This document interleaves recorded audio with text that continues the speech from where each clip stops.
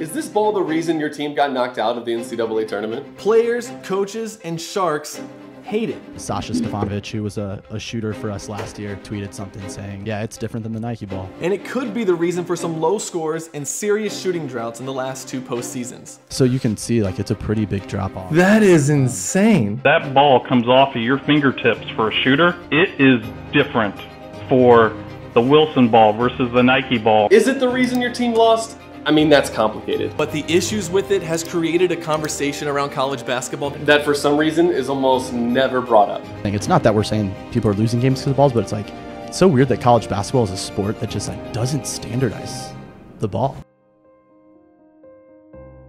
You've probably noticed the last two NCAA tournaments that they've been using this bright orange basketball. That's the Wilson Evo NXT. And I have likely annoyed friends, family, coworkers for how often I bring it up. I've been waiting to get this out there for a year now. it's not the same weight. It does doesn't it feels different. The grip on it is different. And yeah, a lot of people thought I was crazy. And while they might be right about that, they could still be wrong about how much this ball is affecting some of those scores we've seen. We talk about the ball in almost every other sport, like Deflategate, 2010 World Cup, juice baseballs. But to mention the ball is a problem in the game of basketball for some reason makes you sound like a conspiracy theorist, which is ridiculous. Like if I was a conspiracy theorist, I'd say stuff like, why are they using these basketballs? And why are they so heavily inflated? Why are the rims so tight in the opening rounds? Is that to keep the scores low? And does keeping the scores low create more close games, more upsets, and more madness? All of that would be crazy. But what's even crazier or dumber is that we don't use a universal ball throughout all of college basketball. Instead, there is a different ball used depending on where you play. In 2019, ESPN's Myron Medcalf wrote this article about the effect of using different balls. He noted that Rodney Paul, a sports economist and sports management professor at Syracuse University, conducted a study that showed where teams using a different ball on the road could experience more than a one point differential from their expected scoring. And former players have spoke out recently about the advantage. But in the postseason, everybody uses the same basketball, one that many teams choose not to use throughout the regular season. And it shows. And I know you might be thinking, okay, the ball is round, it's a basketball. How could it be that much different? Well, Wilson actually advertises that it is different. The Evo Next has what we're calling extended range tech. The super soft core actually redistributes the weight and balance of the ball, allowing you to shoot from longer range. And other YouTubers reviewing this ball will tell you that it is different and that it does take some getting used to. I don't know how much time they adjust to this ball or get used to it. And I know there's a lot of big men have issue. Kind of squishier basketball, but the bounce back isn't as quick. Almost seems like, you know, you're kind of bouncing a bowling ball on a mattress. And that extra grip is proven by how easily I can palm this basketball. Not so much with this one. Okay, so you can see the difference. I can just pick this one up. It's that easy. And you wonder if this extra grip has something to do with the record amount of wedgies we've seen in this tournament. Bill Self in Kansas switched to Wilson in 2019, and more recently to the Wilson Evo NXT looking for an advantage. And so did a small team in New Jersey.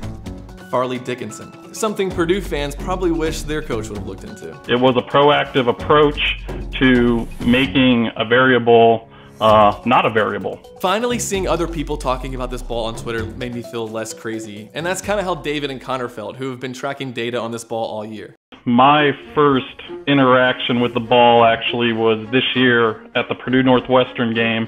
And immediately when I grabbed the ball, I noticed whoa, what is this? The ball was stickier, it was tackier, and I looked at it and it said Wilson Evo. Going home that night, we found out the Wilson Evo ball was used at the Davidson game. They were three for 25, multiple wide open threes, just didn't go their way. Right after that game, someone had asked Coach Painter, they're like, you know, what's up with what's up with the balls? They're all round. We'll be fine. Good shooters can make it with a football. Stand out. I know these guys practice with it, and they it's just kind of one of those stats where you look at and you're like, this is crazy. Where it's like, you know, we shoot away from home 40% with the Nike ball, and then with the Wilson ball, away from home shooting 23% from three. Dave also pointed out that there is a player that serves as a good case study for this basketball. That player is David Jenkins Jr., and he's a transfer who came from Utah. And what ball does the University of Utah use? They use the Wilson Evo ball. When it came Big Ten tournament time, David Jenkins Jr. was on fire. And I'm going to say that that comfort with playing at Utah last year with the Evo ball, you, you can't disregard it. NCAA tournament teams their three point shooting throughout the year, and then we hit the, the tournament. And um, yeah, so you can see like it's a pretty big drop off. That is insane. Yeah, and I mean like because it bottomed out near 31%. Unfortunately for Kentucky, they are stuck using the Nike ball because of a contract that they are in with Nike. Which sucks because here's how Kentucky has shot with this ball. Kentucky throughout the season was 27 out of 102. Kentucky shot 26% from three using the Wilson Evo NXT. Last season was no better. In their two postseason losses, they shot 6 for 35 or 17%. And it's not just Kentucky and Purdue. Michigan State was one that like blew my mind. Five games leading up to the, the tournament. From three, they were 36.8%, 47.6, 73.3. And these are all in like pretty high volume. The conference tournament started, they shot 18% in their first one with the Wilson ball. A lot of teams are saving their very worst shooting nights for the NCAA tournament.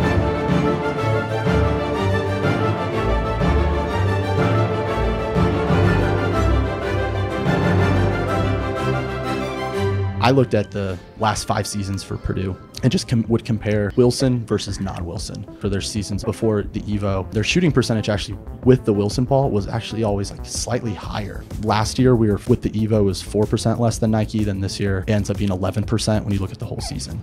And that was kind of for me, it's okay, something changed. Maybe that something changing is what caused this. I took this ball with a recommended PSI to the very same court in Greensboro where Antonio Reeves shot 1 of 10 from 3. The ball travels further, and that's by design. But if you don't shoot it straight in, you're probably gonna miss.